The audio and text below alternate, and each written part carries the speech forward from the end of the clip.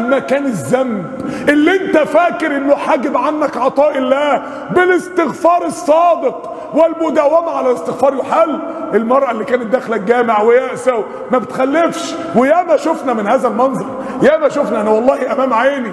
واحد دخل الجامعة كنا واقفين يعني كذا واحد كده. دخل قال يا جماعة أنا ما بنجيبش بقالي عشر سنين عشر سنين متجوز ولا مرزق ذرية. يعني يعني فطلب الدعاء واحد من اللي كانوا واقفين رفع إيده. قال اللهم ارزقه الذرية الصالحة. والله هذا الرجل أقسم بالله قابلته بعدها. قال لي في نفس الشهر مراتي حملت. في نفس الشهر الله قادر. خايف ليه؟ وربك المجيب. خايف ليه؟ وربنا مجيب. وربنا قريب. يا عم امال إحنا بندعي ربنا يعني؟ وربنا ما بيستجيبش ليه؟ هو إحنا بنقول يا رب وربنا هو انت بتتكلم بجد؟ انت بتتكلم بجد؟ انت لو تتكلم في الكلمة دي بجد تبقى مصيبة. هو انت مش ياما دعيت وربنا استجاب لك؟ هو انت مش يعني بتقف كده تصلي ركعتين الإجابة من عند ربنا تنزل؟ لا يا عم هو فين الكلام ده؟ فين الكلام ده؟